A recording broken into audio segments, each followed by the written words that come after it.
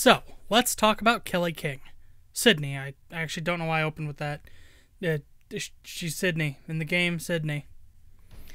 Sydney is a perky Australian gangster of 24 years of age who somehow schlepped her way into the US and took a big backpack full of money from the payday gang. Bain, in his eternal wisdom, saw this and went, Yeah, let's put her in the crew. And so it was done. Sydney came to us with the Anarchist perk deck, a very unique assault rifle, the butterfly knife, as in, I guess, well, you know what? That's correct, the one and only. And a face that some might call controversial. But how does all this work as a build? It's time we figure it all out.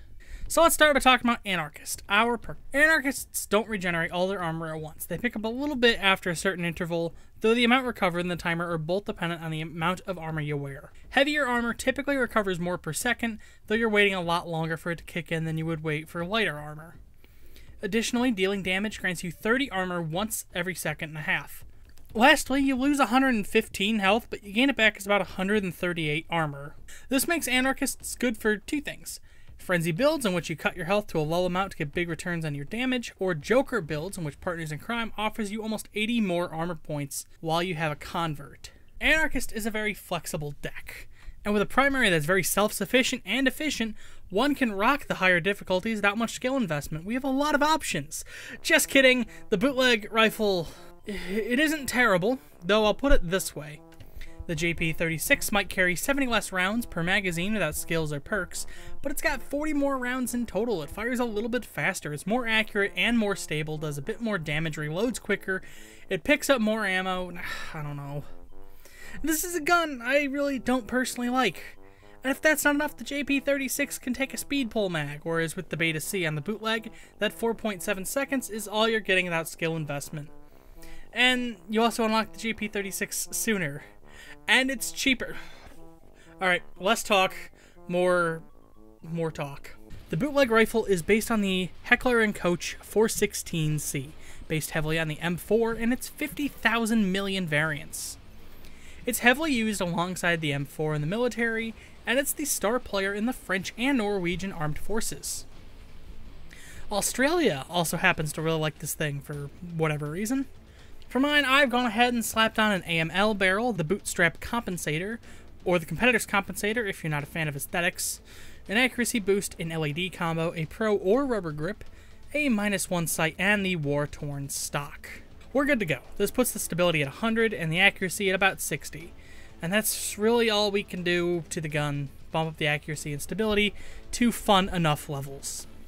Now, our secondary was originally going to be one from an adjacent update, but the last weapons added before Sydney were the Akimbo Compact 5s and Krinkovs, and the following weapons were from the Rust packs. So that's no good. I also considered grabbing an Australian military weapon for this build, which would be neat seeing how the Aussie military uses the HK 416. But that would leave us with a Compact 5, which isn't terribly exciting, or the Interceptor 45. Or technically the locomotive, which just is giving me deja vu. But no, I went ahead and I played a dumb card here, and I looked around the Sydney safe for inspiration. Fun fact, the Sydney safe doesn't even contain a skin for the bootleg rifle. One of the biggest things holding this plan back is the rarity of the safe and the resulting price of the cosmetics. The Sydney safe was the last safe in the game to take a $2.50 drill. It was added to the game in Update 99, and Update 100 retired the safe, pulling it from the drop system after 11 fucking days. This makes even the most common of skins cost an arm and a leg, and you really don't want to know how much some of these more rare things go for. It's it's sad. But I do own three of the skins from the safe. We've got the GL40, the GSPS, and the Baby Deagle. I've already talked on and on about the Ithaca, the GL40 is another primary weapon, so let's give the Baby Deagle a shot. Based on the Jericho, whatever, whatever, yada yada yada, Bodhi character pack link goes here. I've given mine the threaded barrel IPSC compensator, a concealment boost micro laser, the spike grip, and the spike kit. The spike stuff works out about an accuracy plus 4 for the cost of 1 concealment, but it overhauls how the gun looks, and it's a lot better having this stuff. The compensator pushes us to 100 accuracy, which lets us hit down range, and the concealment boost gets people writing upset comments during the video only to either stop when I call them out right in the middle of the video, or make them feel guilty about having hit send and try to edit the comment to something a bit more tactful. I caught somebody with that, hopefully. Otherwise, I just wasted a bunch of time for something only I care about.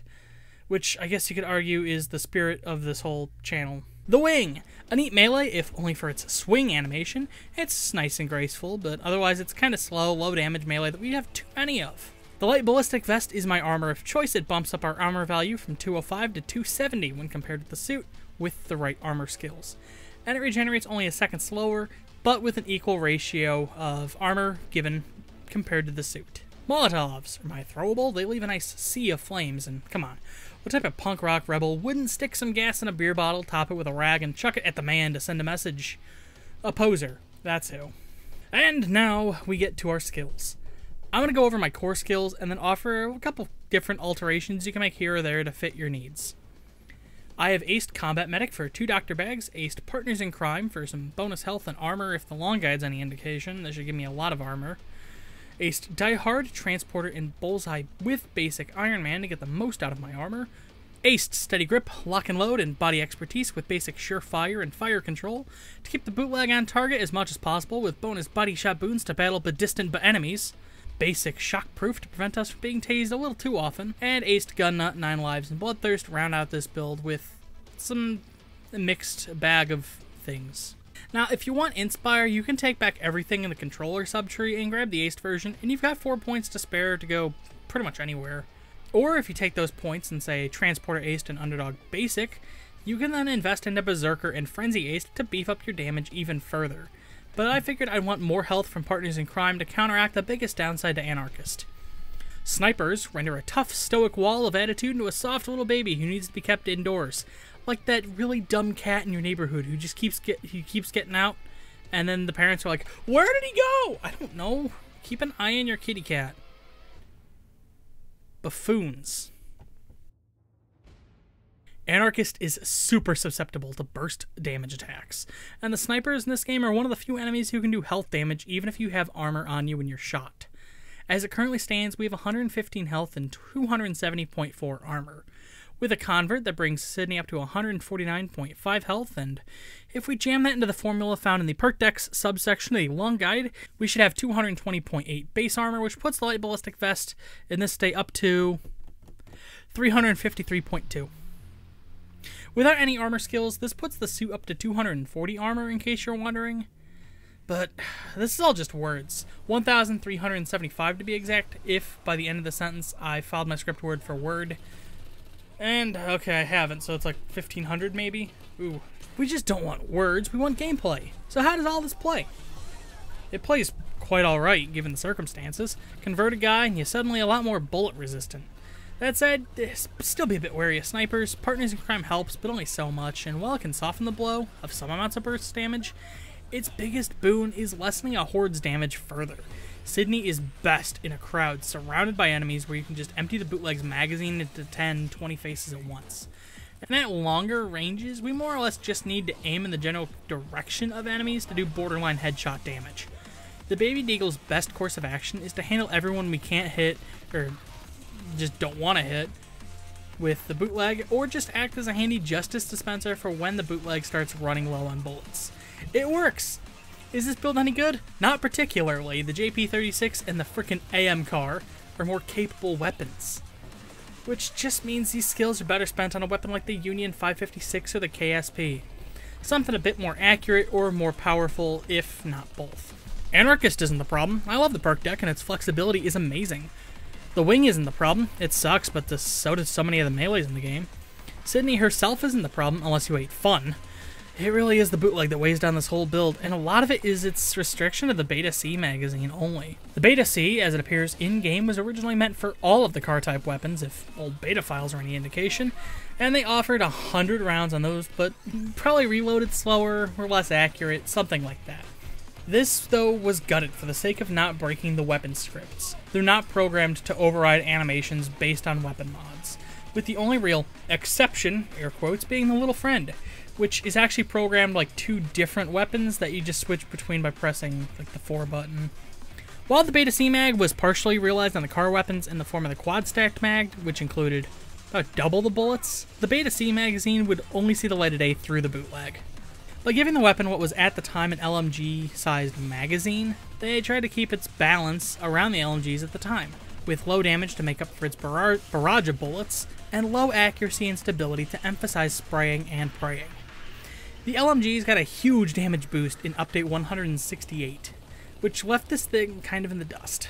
Honestly, as a build, this is pretty good like a Clarion or maybe some akimbo weapons, but as a Sydney experience, it's a lot less breakneck pace and frenetic energy, and a lot more slow and dreary. Less job in the city, and more long, lonely night. Less walking illusion, more room to breathe. My final verdict on the Sydney pack is that it hits the mark in its perk deck and its character, hmm, for me at least. Its melee is a payday melee, whatever, but the gun is just too much of a burden to make this build any fun. That said, the pack was still a good addition, and if you can find a different assault rifle, this is a lot of fun. There's a lot of fun to be had, and I had a lot of fun making this video, and I learned a lot making this video. I hope you did too. And until next time, see you. Just please, for the love of God, just use the Union 556. Hey, I'm interrupting my self-promotional end slate talk real quick about New Infinity. Um, it was this thing I started in 2014 to 2017. The easiest way to describe it is that it's it's a young adult novel and also a techno like a sci-fi novel, but in the modern age, just kind of like that. Um, I wrote it between 2014. I finished it in the November of 2017. Uh, the other day, uh, Friday, Thursday, Thursday, Thursday, I started New Infinity Disc 2. It's a continuation of New Infinity. The link to New Infinity 1 through the story sharing site Penana. It's always been in the description. You can find it there, and you can check out my other written works on my Penana page. Can we bring up the uh, the end slate things? Just kind of boom, boom, boom. And I'm gonna shut up and let the the pre-recorded end slate reel kind of take it away from here. Take it away, me from several months ago. If you like this video and you'd like to see more, I'd recommend subscribing. Patreon and social media links are in the description.